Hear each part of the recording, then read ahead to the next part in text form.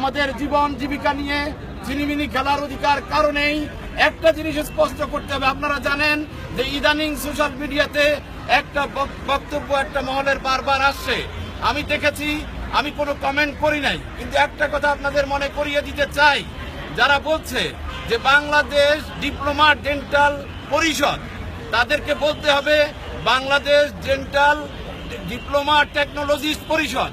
তারা যেভাবে আমাদের মাথায়, জাতির মাথায় ঢুকিয়ে দিতে চায় যে ডেন্টাল ডিপ্লোমা আর graduate dental diploma dental graduate dental আসলে বিষয়টি তা নয়।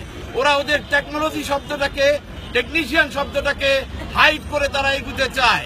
এবং এভাবে তারা কিছু কিছু জায়গায় ধুয়ো তুলে, অস্পষ্ট রেখে তারা বাংলাদেশের স্বাস্থ্য ব্যবস্থাকে ধ্বংস করতে চায়।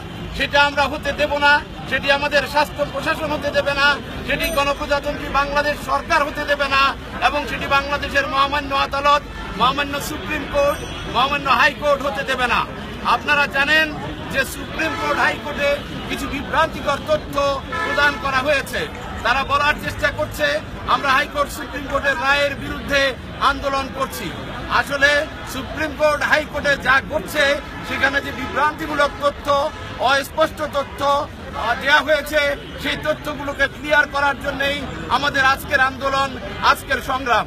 আমি সবাইকে ধন্যবাদ জানাচ্ছি, শুভেচ্ছা জানাচ্ছি, আগামী দিনের আন্দোলনে শরিক হওয়ার আহ্বান জানাচ্ছি এবং দূর দূরান্ত থেকে, বিশেষ করে ঢাকার বাইরে থেকে যারা এসেছেন কষ্ট করে, তাদের সবাইকে আমাদের সংগঠনের পক্ষ থেকে কৃতজ্ঞতা জানাচ্ছি।